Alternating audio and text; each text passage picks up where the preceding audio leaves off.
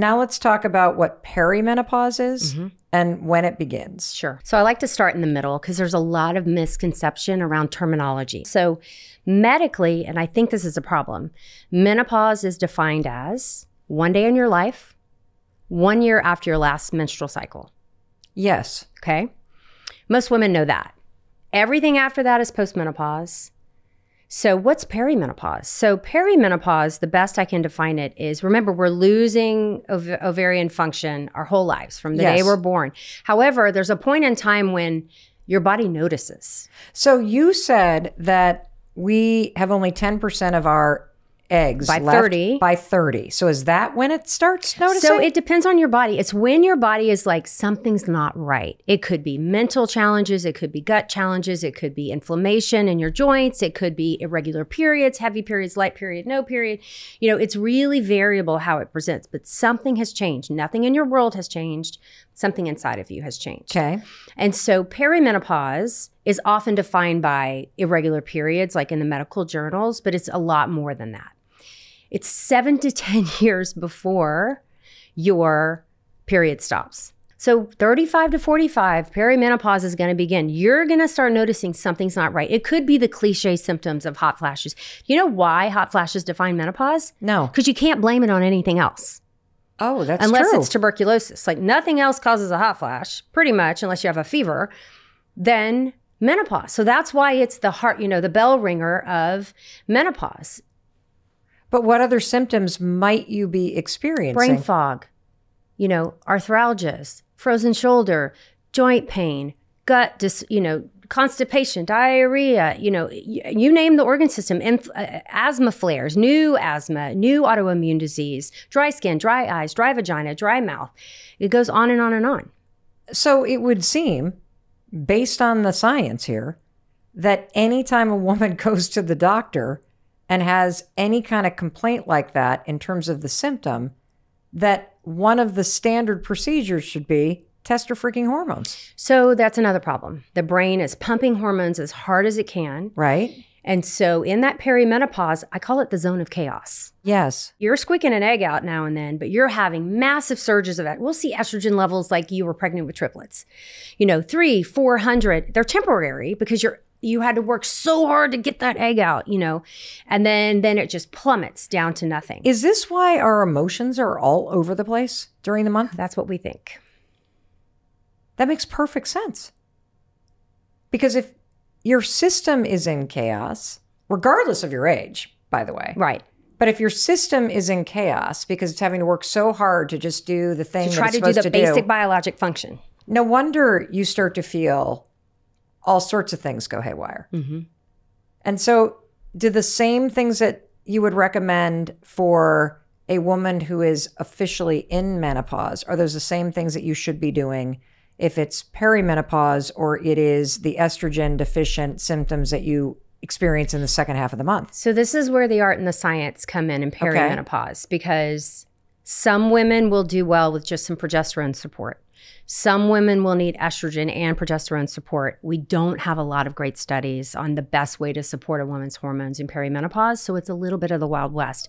We also we're not teaching our residents, medical students, trainees how to recognize it, how to diagnose it. You really I don't need blood tests to diagnose perimenopause. I just listen to the patient and believe her. I'm sitting here reacting to everything that you're saying because I'm thinking, I don't even really remember anybody talking about perimenopause as anything other than your period might get irregular. Mhm. But none of these other symptoms. I mean, this is very illuminating. And I feel kind of bad that I didn't know that because I had no clue what was happening. Right. I would love to now focus on menopause. Mhm. And are you still in a monthly cycle? Like, what is happening when you're in menopause? So once those ovaries fail, and I know that term is harsh, but you know, once the ovarian, once the eggs are gone, no more periods. You will any vaginal bleeding after menopause needs to be evaluated by a gynecologist. There might be something wrong. Okay, you should never have another period again. So your periods stop, or the, first they become shorter, longer. It's really it could be anything, but eventually they just kind of stop. Some women will wake up and never have another period. Others will have this kind of skipping months and months between until they finally end. Mine was like Chucky.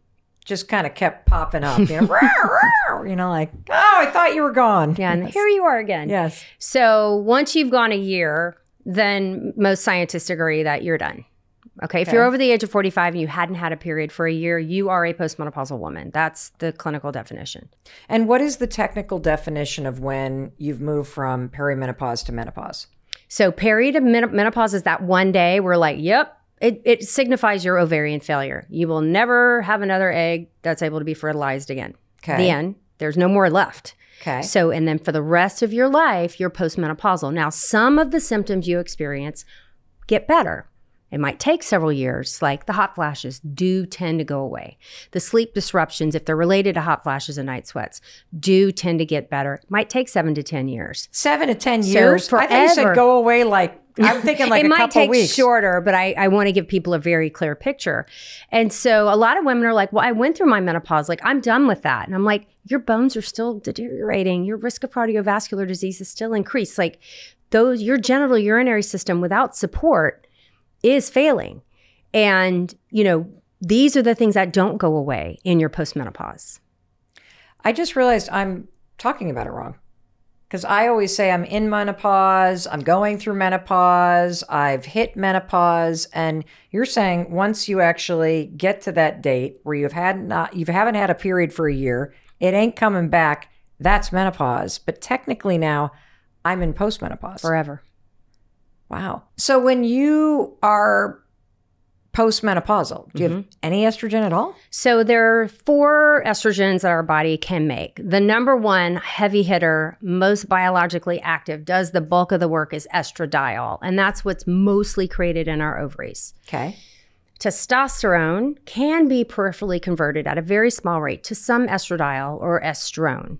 So estrone is what's created in our fat cells. So the heavier, the more subcutaneous fat you are, the higher your estrone level is, which is why heavier women are more likely to have endometrial cancer and other estrogen related cancers. Is this also why one of the symptoms when estrogen starts to decline is that your arms get flabby and you start to gain weight around your stomach because your body, once it's signaling there's not enough estrogen being created in your ovaries, your body starts to try to create and hold on to it in your fat? So there are theories around that. The anthropologists are, are scratching their heads because there's only five mammals that go through menopause and four of them live underwater. Beluga whales and a few one of the killer whales yeah. Really? so yeah no other mammals on land really that we can figure out. Maybe one giraffe. They're looking at one particular giraffe. Go we are like really unique in that we have a menopause. And we think because we've just artificially extended our life past our evolution with modern health and Yeah. sanitation and all the things that keep us alive. That's wild. we weren't designed to live this long. So we have estradiol. Yeah. that's gone Okay. the ovaries can't make that anymore. Maybe a tiny bit, but really not clinically significant. Estrone, really weak estrogen. Okay. Estriol, which is created in our placentas when we're pregnant, but pharmacologists have been able to recreate it and it's used in like one or two formulations of hormone therapy. It's not one of my favorites. And then there's this other one called estetrol, very fancy that the fetuses that are when we're in the womb, that's another one that we make with fetal cells. And that one has also been synthesized and is used in a couple of one hormone replacement therapy. Um, that's not one of my favorites. No, but I mean in your body. So your estrogen level is not zero, but your estradiol, but it's less than 1% of it was when you were 25. So let me the- give it to you that way. Got it. Less than 1% yeah. of what it was when you were 25. Mm-hmm. Holy smokes. And your body needs it. It will function better with it. And the- you will not die without it. You'll just die faster and less healthy. and, and miserable. Mm-hmm. Wow. I'm trying to digest this stat. I want to make sure you didn't miss this. When you think about the estrogen levels that you have at the age of 25, you only have 1% of that Mhm. when Of estradiol, yeah. you are postmenopausal. And the only sources for your body to create it are ovaries or and a little bit in the periphery, you know, in other cells, you know. it. That's it. Wow. And our march to death begins.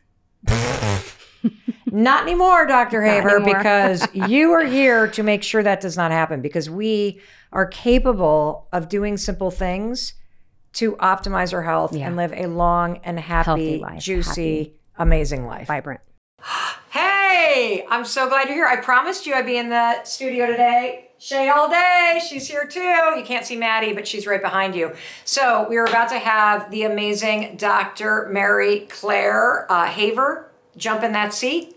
And I just want to tell you, this is going to be one of those episodes that's going to change your life.